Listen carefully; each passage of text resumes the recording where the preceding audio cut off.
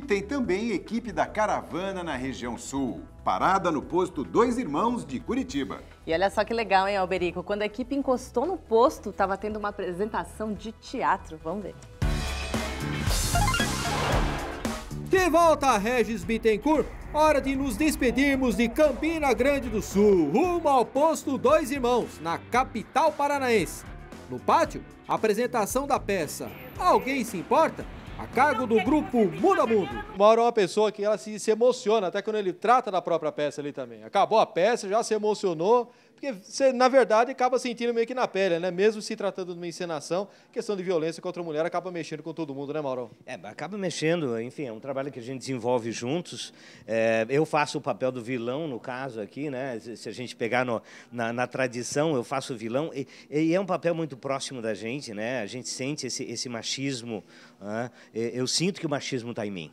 Então, quando eu faço, é como se eu estivesse fazendo um resgate de uma histórico meu, dos meus parceiros, da, da minha turma de escola. Né? Então, é muito forte, é emocionante o trabalho.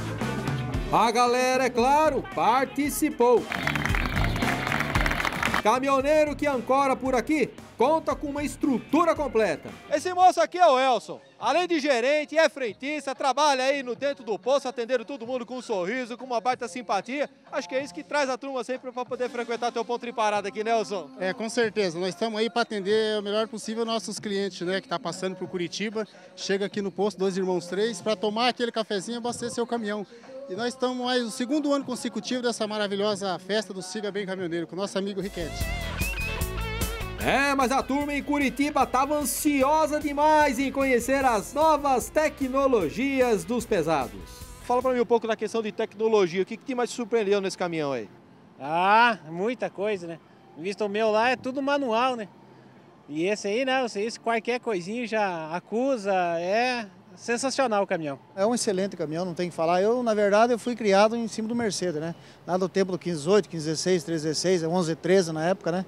E a gente já está com bastante tempo na rodagem, 45 anos, então a gente já pegou vários tipos de caminhões, né?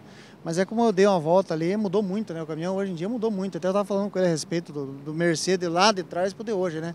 É outro caminhão, né? Não tem nem o que falar, né? Então é uma qualidade que a gente fica assim. É o sonho de ter um, possuir um, na verdade, né? E todas as ações realizadas durante as paradas da caravana Siga Bem acontecem graças ao trabalho de gente dedicada, gente da estrada, como o Paulo, um dos motoristas do comboio. Pois aí o Paulão deu uma paradinha nos afazeres para conversar um pouquinho com a gente também. É mais um dos motoristas que estão aí no puxa do comboio da caravana Siga Bem. Paulão, antes de vir para cá, você já tem uma longa experiência de carreta já com caminhão, né, companheiro? Sim, sim, claro. A gente já trabalhou bastante aí no trecho. E essa experiência da caravana tem sido nova para a gente, né? Convivência com os colegas aí, todo recepcionando os nossos irmãos caminhoneiros aqui nos postos, né? Que a caravana vai estar tá tendo o atendimento aí e, é uma experiência nova, gostosa de, de se viver, viu? E vamos pro trecho, porque essa edição de 10 anos da Caravana Siga Bem, ó, tá só no começo.